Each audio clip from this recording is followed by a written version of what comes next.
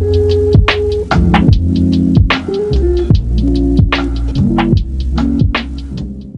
guys, it's Jess and welcome to my YouTube channel.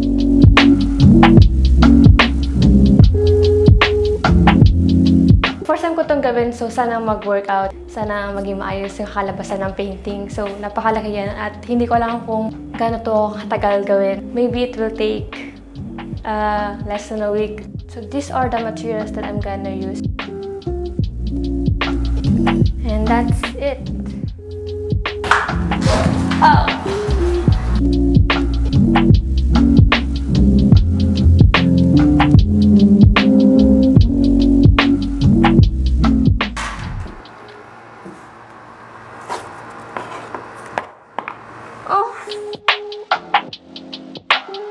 I'm going to combine these three paintings of Barbara's, The Grey Mountain, Tower Peaks, and Island in the Wilderness.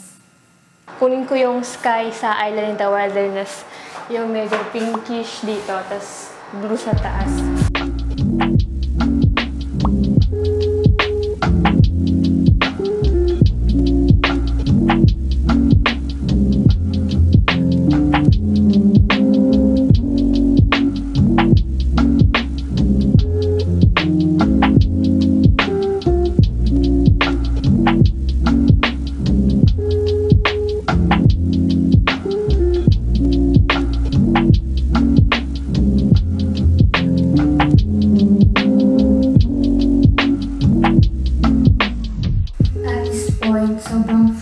Frustrated na ako kasi ayaw mag-blend ng paint.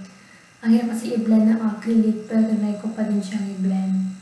Until sinubukan kong lagyan siya ng white para at least medyo maglighten yung kulay.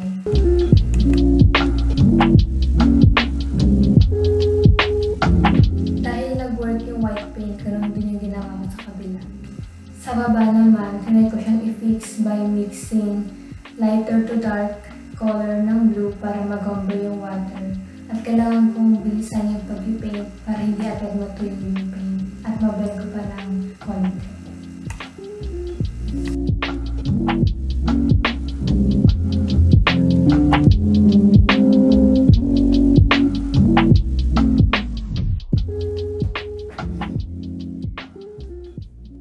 So, tignan niyo naman nangyari sa clouds ko. Naging cotton na nga siya. Na siya mukhang babros. Anong babros dito? Next ay yung mountain natin. Oh my God. Medyo gusto ko, medyo brownish yung ano, mountains ng konti. So, I put some brown, tapos konting blue. Wala lang, para lang, para mukhang babros. Ganun siya eh. A very barbarous thing. We're done mixing. We're gonna paint now. Saya mag-paint. So yung sky galing sa island in the wilderness. Tapos tong mountain galing sa towering peaks.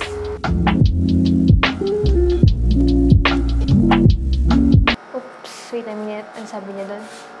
Think where your light's coming Slow pressure and you will down this one to the mountains.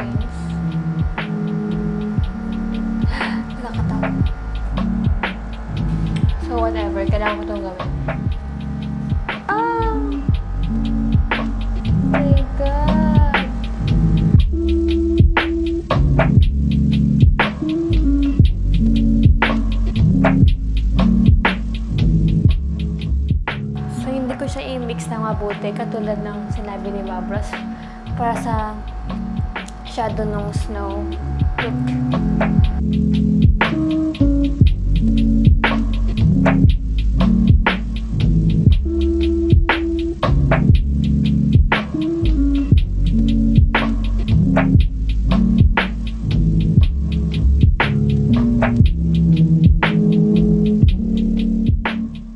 After 5 hours of work, ito na yung kinalabasan. That's it for today. I'll see you guys in the next morning. Good morning guys! It's day 2. And our goal for the day is matapos yung painting.